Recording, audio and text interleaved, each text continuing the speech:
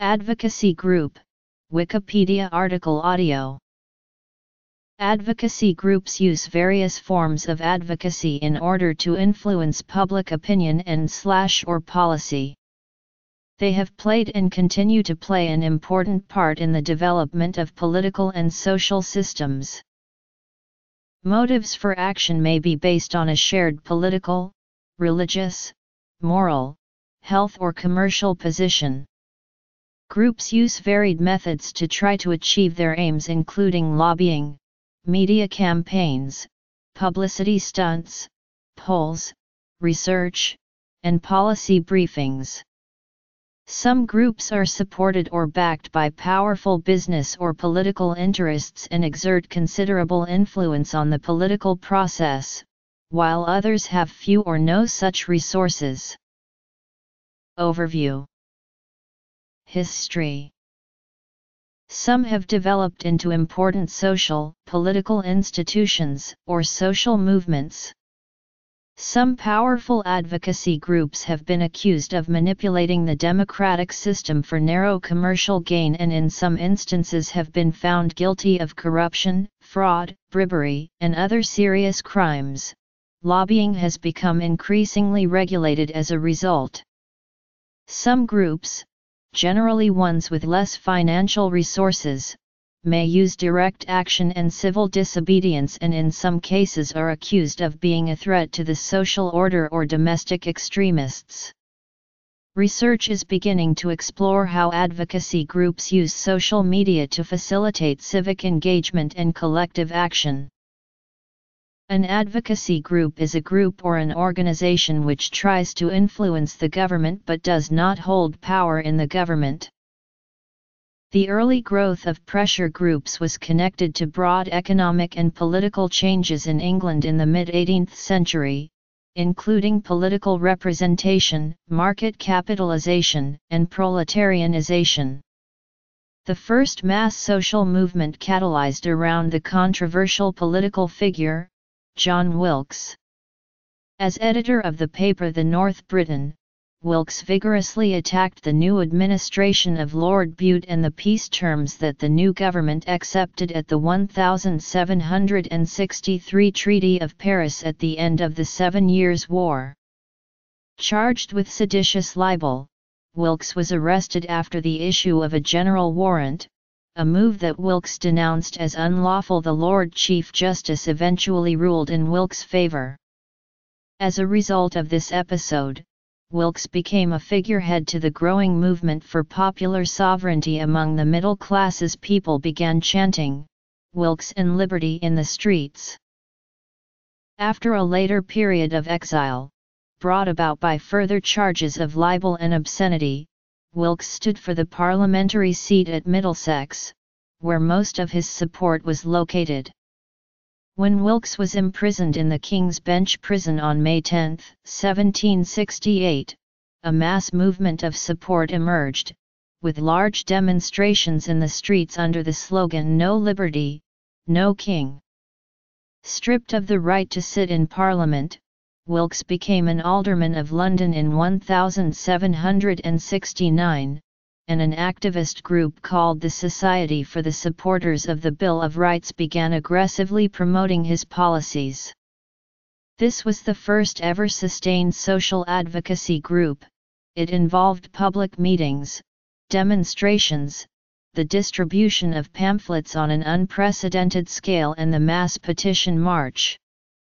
However, the movement was careful not to cross the line into open rebellion, it tried to rectify the faults in governance through appeals to existing legal precedents and was conceived of as an extra-parliamentary form of agitation to arrive at a consensual and constitutional arrangement. The force and influence of this social advocacy movement on the streets of London compelled the authorities to concede to the movement's demands. Wilkes was returned to Parliament, general warrants were declared as unconstitutional and press freedom was extended to the coverage of parliamentary debates. Another important advocacy group that emerged in the late 18th century was the British abolitionist movement against slavery.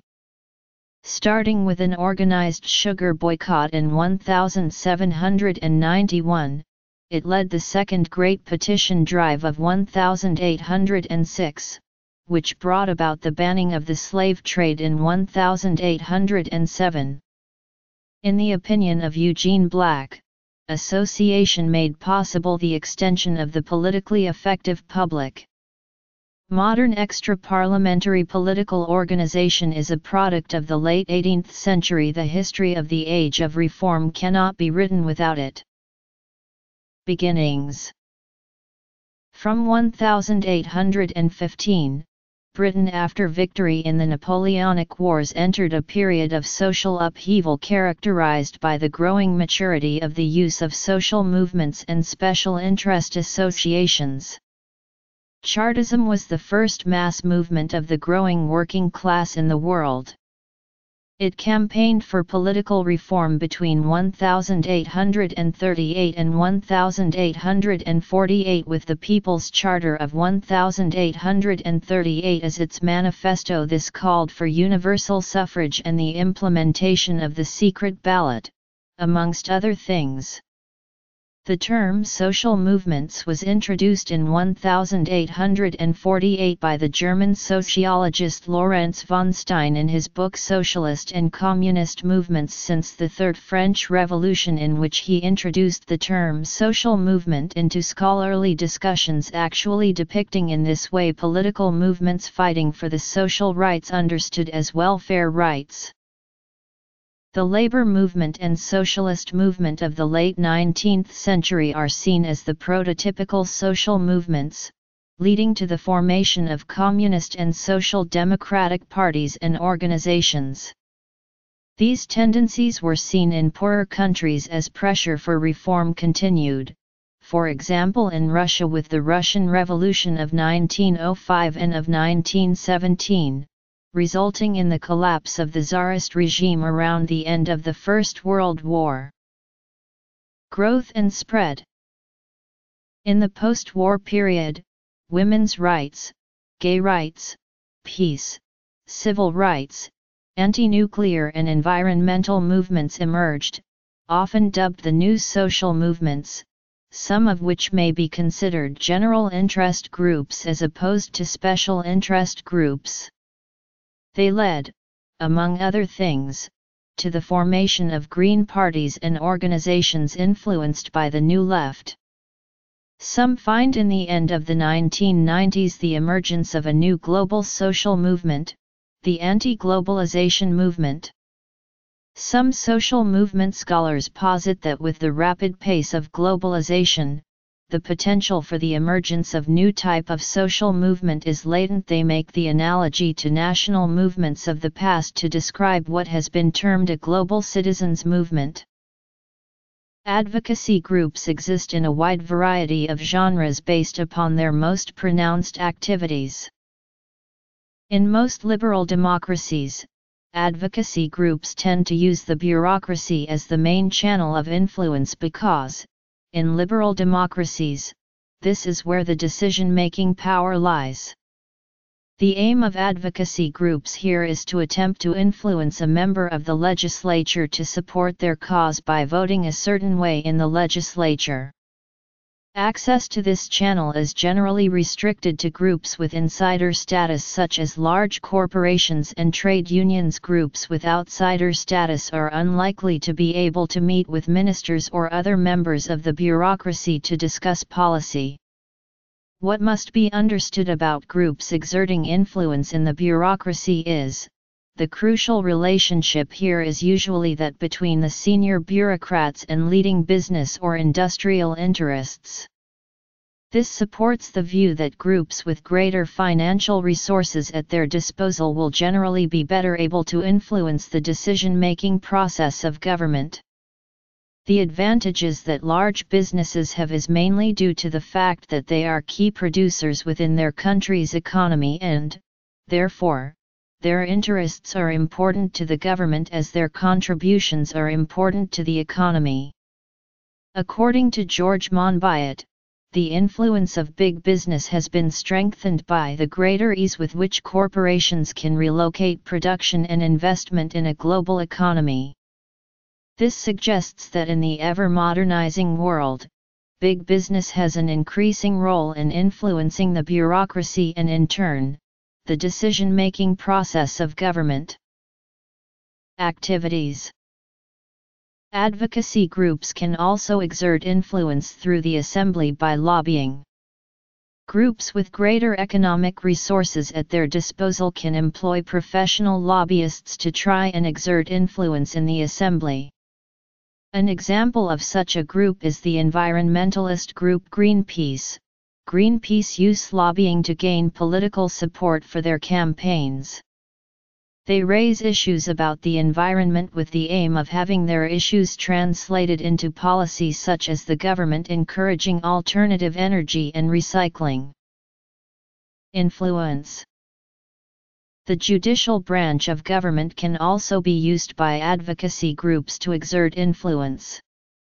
In states where legislation cannot be challenged by the courts, like the UK, advocacy groups are limited in the amount of influence they have. In states that have codified constitutions, like the USA, however, advocacy group influence is much more significant. For example, in 1954 the NAACP lobbied against the Topeka Board of Education, arguing that segregation of education based on race was unconstitutional. As a result of group pressure from the NAACP, the Supreme Court unanimously ruled that racial segregation in education was indeed unconstitutional and such practices were banned. This is a novel example of how advocacy groups can exert influence in the judicial branch of government. Influential advocacy groups Advocacy groups can also exert influence on political parties. The main way groups do this is through campaign finance. For instance, in the UK, the Conservative Party's campaigns are often funded by large corporations, as many of the Conservative Party's campaigns reflect the interests of businesses. For example, George W. Bush's re-election campaign in 2004 was the most expensive in American history and was financed mainly by large corporations and industrial interests that the Bush administration represented in government. Conversely, left-wing parties are often funded by organised labour when the British Labour Party was formed, it was largely funded by trade unions. Often, political parties are actually formed as a result of group pressure, for example, the Labour Party in the UK was formed out of the new trade union movement which lobbied for the rights of workers. Advocacy groups also exert influence through channels that are separate from the government or the political structure such as the mass media and through public opinion campaigning. Advocacy groups will use methods such as protesting, petitioning, and civil disobedience to attempt to exert influence in liberal democracies. Groups will generally use two distinct styles when attempting to manipulate the media. They will either put across their outsider status and use their inability to access the other channels of influence to gain sympathy, or they may put across a more ideological agenda. Traditionally, a prime example of such a group were the trade unions who were the so-called industrial muscle. Trade unions would campaign in the forms of industrial action and marches for workers' rights, these gained much media attention and sympathy for their cause. In the United States, the civil rights movement gained much of its publicity through civil disobedience, African Americans would simply disobey the racist segregation laws to get the violent, racist reaction from the police and white Americans. This violence and racism was then broadcast all over the world, showing the world just how one-sided the race war in America actually was. Adversarial groupings Advocacy group influence has also manifested itself in supranational bodies that have arisen through globalization. Groups that already had a global structure such as Greenpeace were better able to adapt to globalization. Greenpeace, for example, have offices in over 30 countries and has an income of $50 million annually. Groups such as these have secured the nature of their influence by gaining status as non-governmental organizations, many of which oversee the work of the UN and the EU from their permanent offices in America and Europe.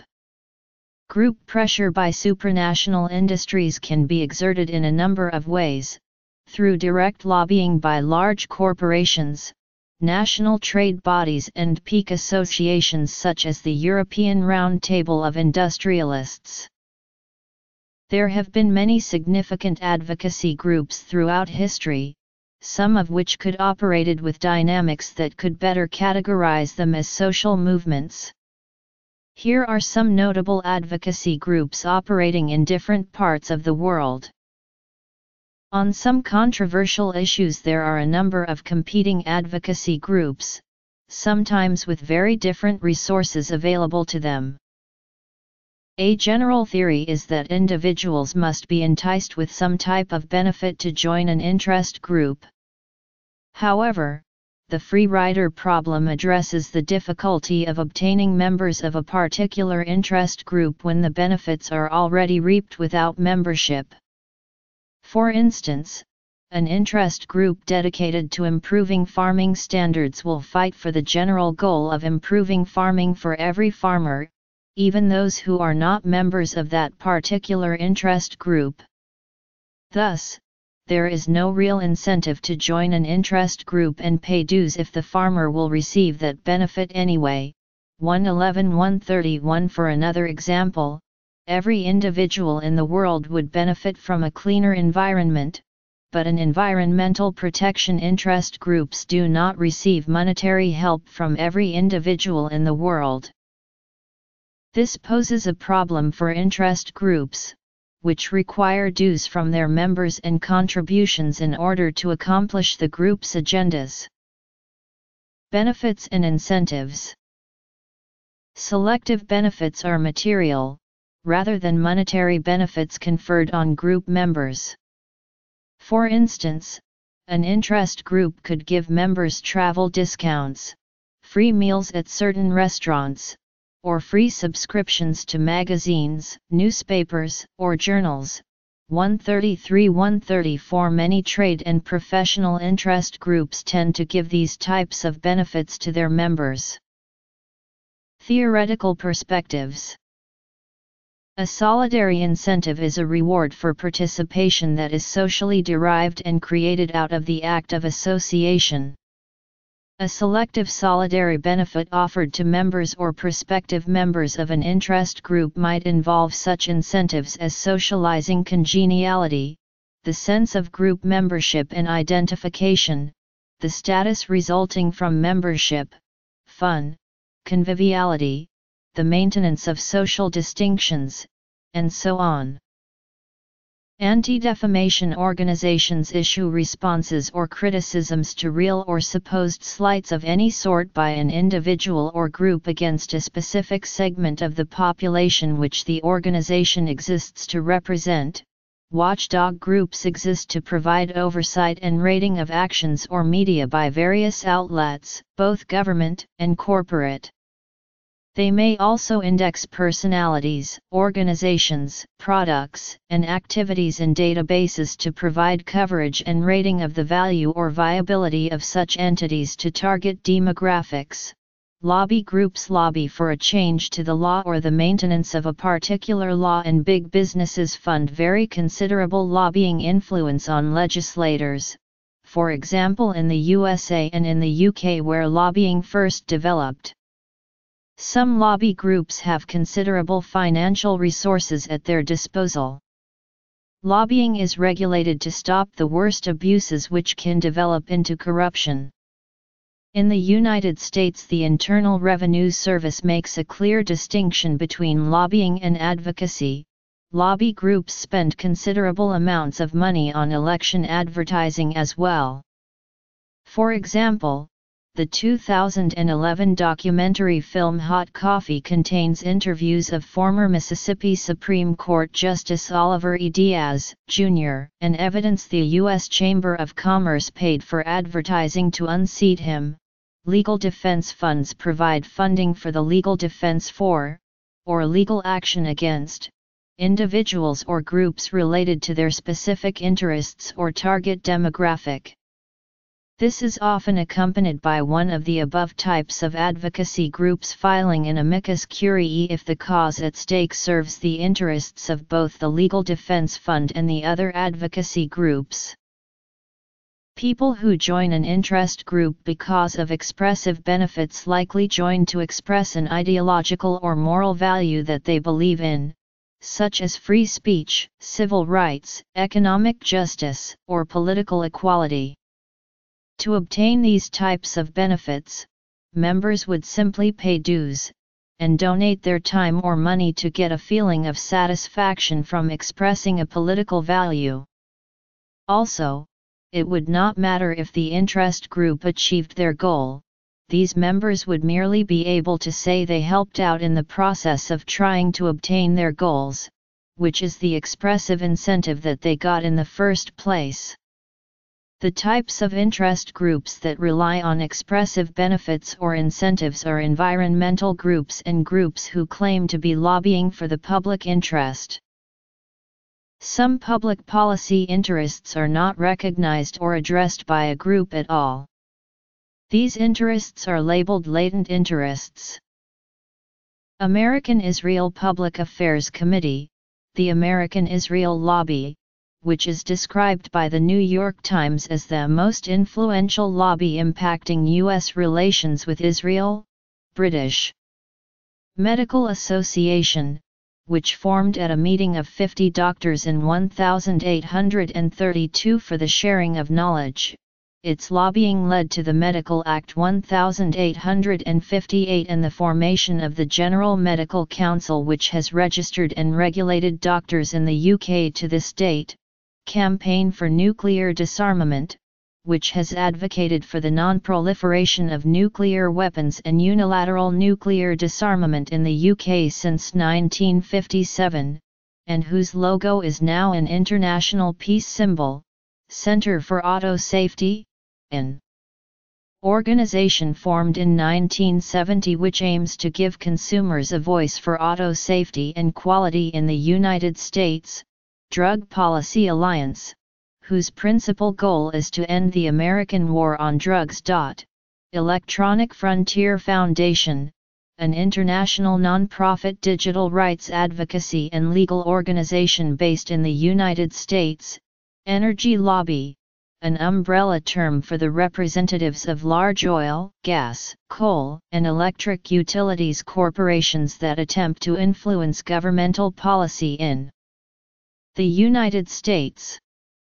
Financial Services Roundtable, an organization representing the banking lobby, Greenpeace, an organization formed in 1970 as the Don't Make a Wave Committee to stop nuclear weapons testing in the United States, the Human Rights Campaign, an LGBT civil rights advocacy and lobbying organization seeking to advance the cause of LGBT rights in America, National Rifle Association, an organization that formed in New York in 1871 to protect the rights of gun owners, Oxfam, an organization formed in 1942 in the UK as the Oxford Committee for Famine Relief, Pennsylvania Abolition Society, which formed in Philadelphia in 1775 with a mission to abolish slavery in the United States, People for the Ethical Treatment of Animals, an animal rights organization that focuses primarily on the treatment of animals on factory farms, in the clothing trade, in laboratories, and in the entertainment industry, Royal Society for the Protection of Birds. Founded in Manchester in 1889 to campaign against the barbarous trade in plumes for women's hats, Sierra Club, which formed in 1892 to help protect the Sierra Nevada, Stop the War Coalition, an organization against the war on terrorism, which organized a march of between 750,000 and 2 million people in London in 2003, Suffragettes, which sought to gain voting rights for women through direct action and hunger strikes from 1865-1928 in the United Kingdom, the affiliated residential park. Residents Association Incorporated, which was established in 1986 to represent residents of residential parks in New South Wales, Australia, the Puntland Human Rights Association, which advocates for the rights of children, women, and minority groups in Somalia and was founded on December 2006, in the Gardo, Puntland regions of Somalia, Sunday School Movement, which formed circa 1751 to promote universal schooling in the UK, Tory party which formed in 1678 to fight the British Exclusion Bill and developed into one of the first political parties, now known as the Conservative Party, U.S. Chamber of Commerce, by far the biggest lobby group in the U.S. by expenditures. Much work has been undertaken by academics attempting to categorize how advocacy groups operate, particularly in relation to governmental policy creation. The field is dominated by numerous and diverse schools of thought. Social media use A study published in early 2012 suggests that advocacy groups of varying political and ideological orientations operating in the United States are using social media to interact with citizens every day. The study surveyed 53 groups, that were found to be using a variety of social media technologies to achieve organizational and political goals. Pro-choice vs pro-life movements, Speak Campaign vs Protest, the Automobile Association vs Pedestrians Association, Tobacco Institute vs Action on Smoking and Health, Flying Matters vs Plain Stupid. As noted in the study, while some groups raised doubts about social media's ability to overcome the limitations of weak ties and generational gaps, an overwhelming majority of groups see social media as essential to contemporary advocacy work and laud its democratizing function. Pluralism this is based upon the understanding that advocacy groups operate in competition with one another and play a key role in the political system. They do this by acting as a counterweight to undue concentrations of power. Facebook was the social media site of choice with all but one group noting that they use the site to connect with citizens. Twitter was also popular with all but two groups saying that they use Twitter, other social media being used included YouTube, LinkedIn, Wikis, Flickr, Gemo, Diago, Tumblr, Foursquare, Identi.ca, Picasa, and Vimeo.